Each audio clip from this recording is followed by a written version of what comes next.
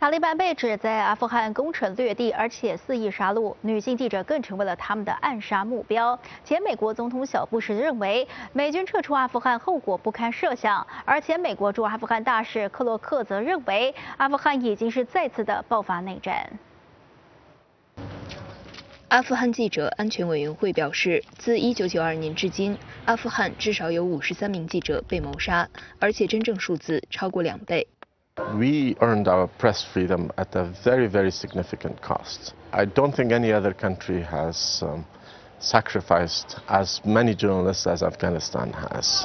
在保守的阿富汗，从事传媒业的女性更成为塔利班攻击和暗杀的目标。电视女主播米娜与家人在汽车炸弹袭击中丧生。媒体业界人士说，如果塔利班重新夺权，记者难逃厄运。当年出兵阿富汗的前美国总统小布什认为，美军撤出阿富汗是个错误决定，后果不堪设想。I'm afraid Afghan women and girls are going to suffer unspeakable harm. Is it a mistake?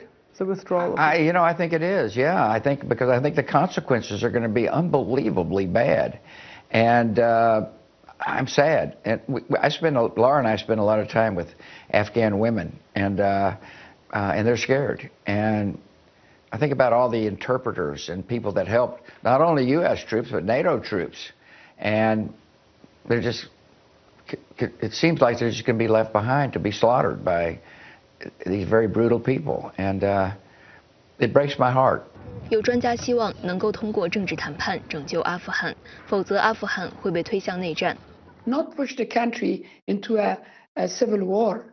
I think if we don't come to a political understanding at the negotiation table, it is very difficult to avoid a very, very bitter civil war. 前美国驻阿富汗大使克罗克较为悲观，他认为阿富汗其实已经爆发内战。I'm very worried about a civil war. In fact, I think it's already started.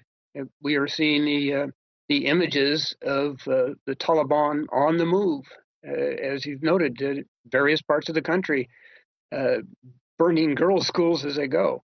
Uh, so the war is on. Uh, the only thing that has changed here is that we have opted out. our decision no longer to be a major player in Afghanistan doesn't end the war, it intensifies it. And it does so to the advantage of the Taliban. 凤凰卫视综合报道。看新闻就下载凤凰新闻 APP。